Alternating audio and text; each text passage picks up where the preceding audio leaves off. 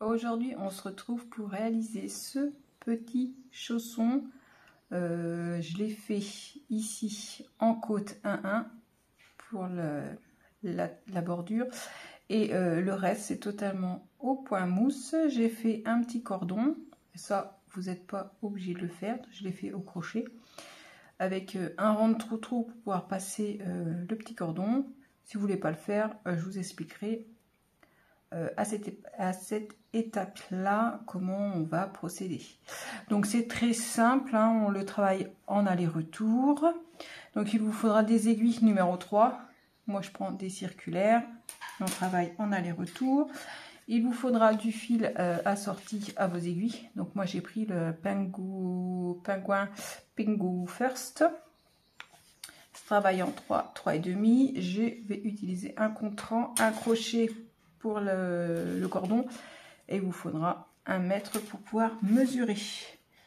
Voilà, donc on y va. D'abord, on va prendre notre fil et on va monter 36 mailles. J'ai monté mes mailles et j'ai quand même laissé un peu de fil pour pouvoir faire la couture. Je trouve qu'en commençant par le haut, c'est plus facile que euh, en commençant par le dessous du pied. Donc, on va travailler en côte 1-1 pendant 16 rangs. Moi, j'ai fait 16 rangs, mais si vous voulez faire plus grand, il n'y a pas de souci, vous faites plus grand. Donc, je vais toujours commencer ma première maille et ma dernière maille au point mousse. Ça va être plus facile pour faire la couture. Après, moi, c'est ce que je vais faire, mais vous, commencez comme vous voulez. Donc, ma première maille, ma maille lisière au point mousse, je commence mes côtes, une maille en droit, une maille en vert, maille en droit, maille en vert, et je terminerai toujours par une maille au point mousse. Première maille, dernière maille, toujours au point mousse. Donc, on se retrouve après avoir fait nos 16 rangs. Donc, après avoir fait nos 16 rangs de côte 1-1, on va faire le, le rang de trou-trou. Donc, si vous voulez pas faire de trou-trou, vous faites un rang tout à l'endroit. Donc, on y va. On commence par deux mailles en droit, une, 2, on fait un jeté. Et à la suite du jeté, on fait deux mailles ensemble. On répète. Deux mailles en droit, un jeté, deux mailles ensemble. Voilà ce qu'on va répéter sur ce rang. Rang suivant, on se retrouve à l'envers, on va tricoter les mailles à l'envers, à part ma première maille et ma dernière maille que je tricote à l'endroit. Le reste, je les tricote tout à l'envers. Et les jetés, je les tricote comme ils se présentent, afin d'avoir un trou. Voilà, mon rang envers est fini, et là, on peut voir les petits trous. Donc maintenant, on va travailler sur les 10 mailles euh, centrales. Donc on va commencer, on va commencer par travailler, tricoter nos 13 mailles qu'on va laisser en attente. Et après, on travaillera sur les 10 mailles du milieu. Donc j'y vais, je tricote 13 mailles. 1, 2, 3, 4, 5, 6, 7, 8, 9, 10, 11, 12, 13. Donc là, celle-là, on n'y touche pas pour le moment. Donc vous pouvez mettre un marqueur si vous voulez. On va tricoter 10 mailles. 1, 2, 3, 4, 5, 6, 7, 8, 9, 10. J'oublie pas de noter, c'est mon premier rang. On va travailler sur ces 10 mailles centrales au point mousse pendant 20 rangs. Donc on tourne et là on refait nos 10 mailles. Faites bien la première, tricotez bien la première maille hein, à chaque fois au à l'endroit. Ça va nous aider après pour pouvoir relever les mailles euh, du côté. Euh, je tricote de 4, 6, 8, 9, 10, Voilà, deuxième rang. Et ça, on va continuer. On tourne et on continue jusqu'à avoir au total nos 20 rangs. J'ai fait mes 20 rangs, donc le fil là, on va pouvoir le couper pour repartir ici. On ne coupe pas trop à ras pour pouvoir cacher après. Donc maintenant, ce que nous allons faire, ici, on va relever 10 mailles. Donc pour relever les 10 mailles, ça va être simple. On va venir piquer les boules ici de point mousse. Donc là, j'en ai 1, 2, 3, 4, 5, 6, 7, 8, 9. Et je vais venir relever ici 10.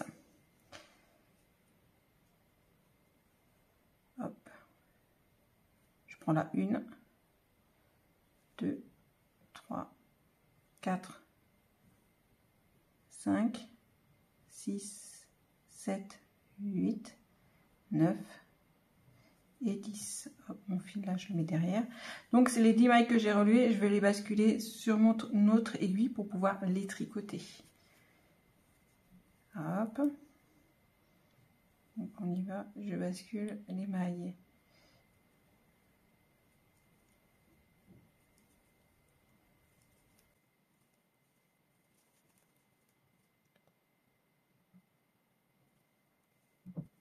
Voilà, donc là j'ai bien 2, 4, 6, 8, 10, 12. Mes 13 mailles que j'avais tricotées euh, en premier avant de faire mes 10 mailles centrales. Donc là, je continue mon rang. Je tricote mes 10 mailles relevées. 1, 2, 3, 4,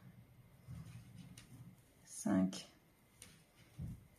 6, 7, 8, 9, 10. Là, je vais tricoter mes 10 mailles centrales, où on vient de travailler. 1, 2,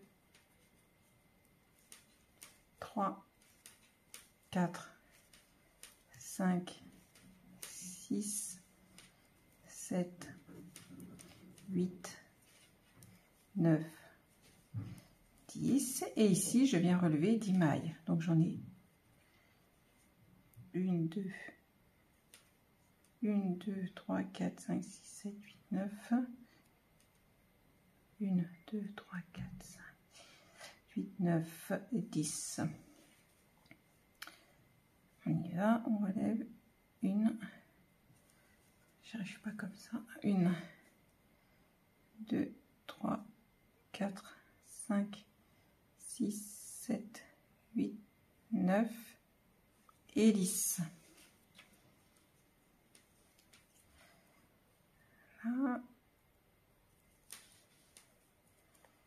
Je tricote torse parce que sinon je suis obligée de remettre les mailles parce que mes mailles en fait elles sont pas dans le bon sens, elles sont un peu tournées Hop.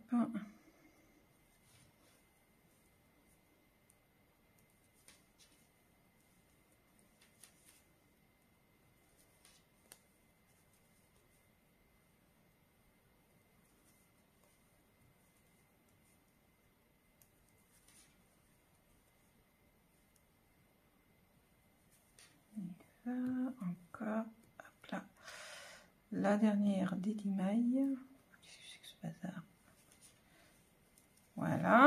Et là, je termine avec les 13 mailles. 1, 2, 3, 4, 5, 6,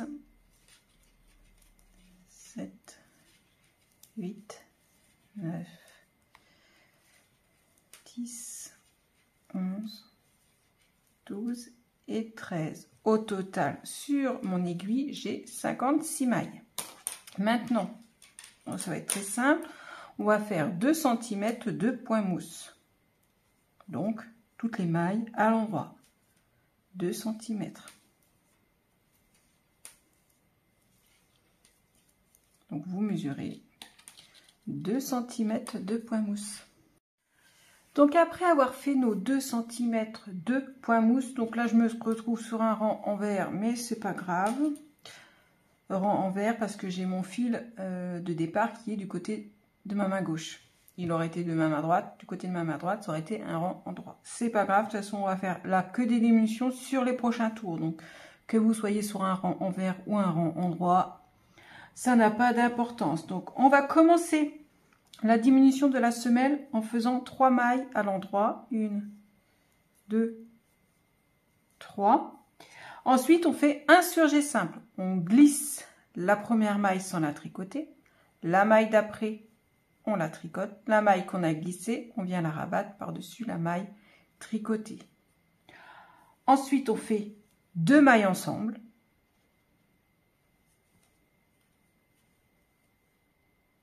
Après les deux mailles ensemble, on fait 14 mailles à l'endroit. 1, 2, 3, 4, 5, 6, 7, 8, 9, 10, 11, 12, 13, 14. On fait un surjet, on glisse on tricote, on, rabat la maille, on rabat la maille glissée par-dessus la maille tricotée. On refait deux mailles ensemble. Ici, on tricote six mailles. Une, deux, trois, quatre, cinq, six. Un surgé, on glisse, on tricote on rabat, deux mailles ensemble,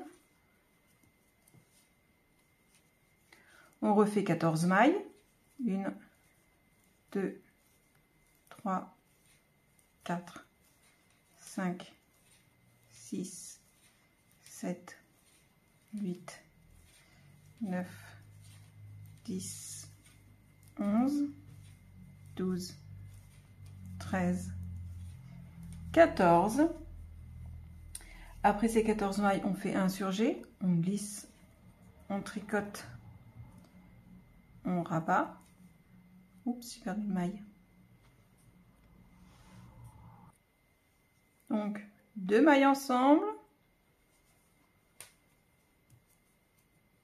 Et on termine par trois mailles. Une, deux et trois. Rang suivant toujours à l'endroit, on est au point mousse. On commence avec deux mailles, un surjet, on glisse, on tricote, on rabat, deux mailles ensemble. Voilà. Là, on fait 12 mailles. Une, deux, trois, quatre, 5, 6, 7, 8, 9, 10, 11, 12. Insurgé, on glisse, on tricote, on rabat. Deux mailles ensemble.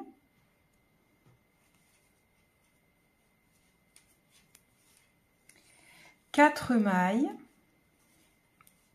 1, 2, 3, 4. Un surgé.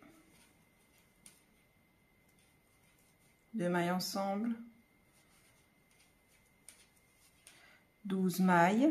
1, 2, 3, 4, 5, 6, 7, 8, 9, 10, 11, 12, un surgé,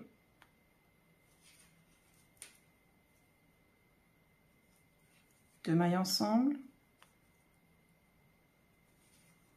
et on termine par deux mailles.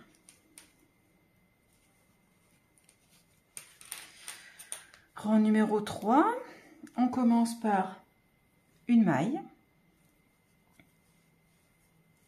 suivi d'un surjet.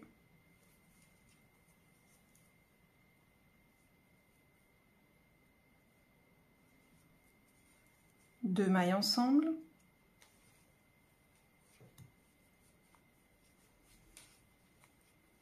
Huit mailles. 10 mailles. Une, deux, trois, quatre, cinq, six, sept, huit, neuf, dix. Insurgé. Deux mailles ensemble.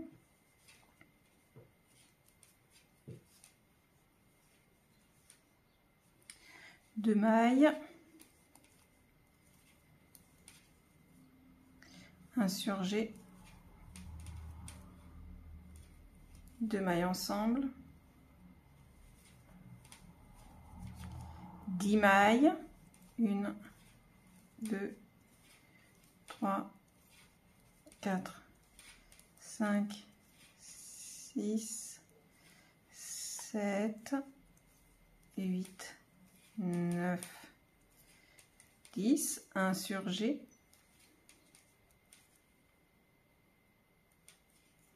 Deux mailles ensemble. Et on termine par une maille.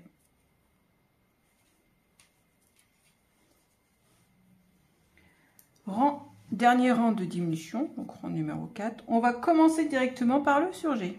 Donc on glisse la première maille, on tricote la maille qui suit, la maille glissée, on la rabat. Ensuite on fait deux mailles ensemble, huit mailles, une, deux, trois, quatre, cinq, six, sept, 8, insurgé, deux mailles ensemble,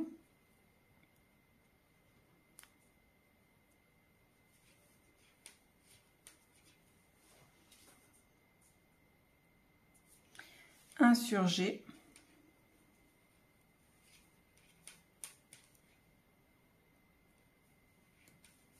deux mailles ensemble,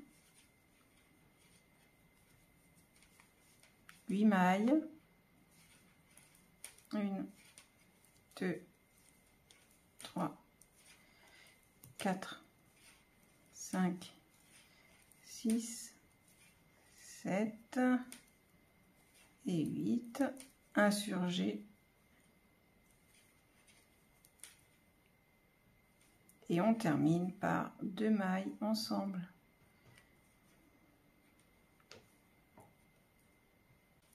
Voilà. Rang suivant, on va rabattre souplement. Donc, si pour vous, vous n'aviez pas à rabattre souplement, vous pouvez prendre une aiguille euh, un peu plus grosse, donc une numéro 3,5 ou 4.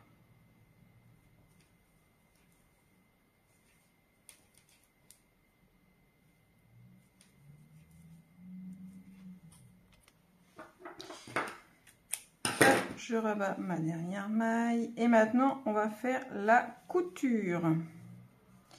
Donc comme je vous disais la couture c'est plus facile de la commencer d'ici de coudre tout ça et revenir. Parce que si on coud avec le dernier bout de fil on est obligé de coudre comme ça de revenir et remonter.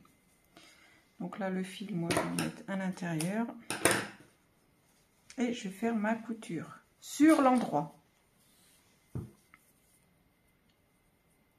je vais me servir de mes boules de point mousse pour pouvoir faire ma couture.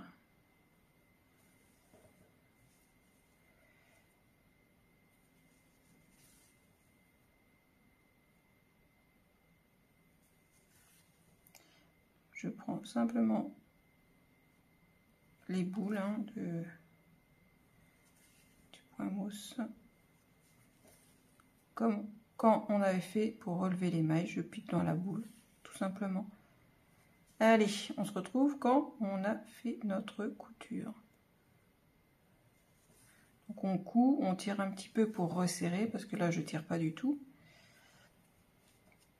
Comme ça, hop, pas trop non plus. On rentre ses fils. Donc j'ai fait ma couture euh, ici et au niveau du talon.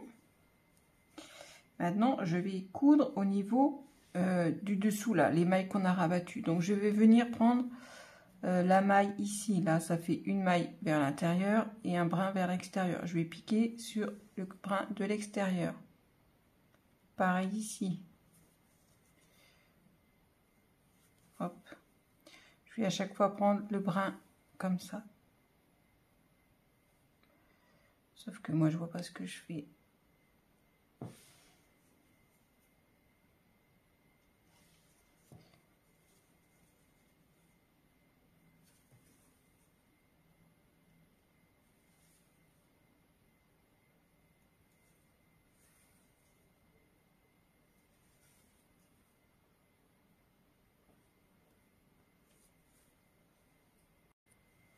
Donc maintenant, on prend son petit crochet et puis on va se faire une petite chaînette de 30 cm. Donc on y va. Je ne sais pas du tout combien ça représente. Moi j'ai fait 30 cm pour l'autre.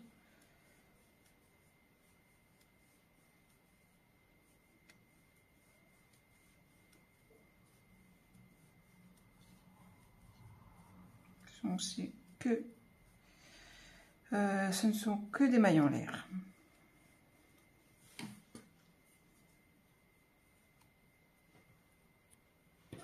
après avoir monté le nombre de mailles, euh, le centimètre, parce que le nombre de mailles, je ne sais pas, vous tirez bien au bout là pour serrer, vous coupez le fil, vous faites pareil de l'autre côté, vous serrez bien et on va venir prendre notre aiguille et passer. Alors si vous voulez couper que après, vous coupez que après là, ça passe plus. Si, ça passe. Hop.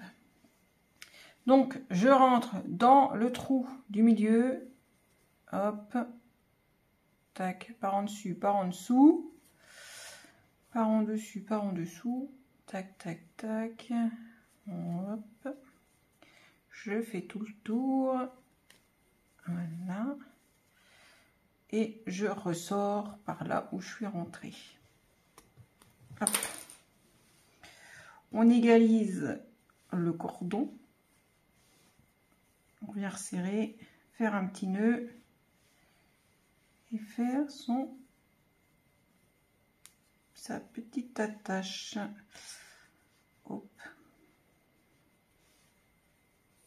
Voilà, donc j'ai peut-être un peu trop serré.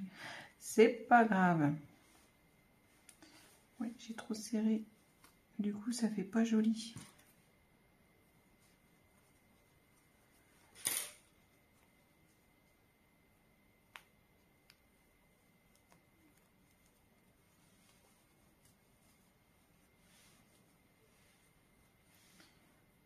Voilà.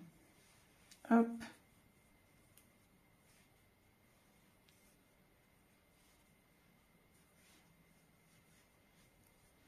Donc vous le serrez. Hop. Voilà, les deux petits chaussons sont terminés. Bah oui, moi j'en ai fait deux. à vous de faire le deuxième. Et voilà, donc n'hésitez pas à liker, partager, commenter. Et moi je vous dis à très bientôt. Ciao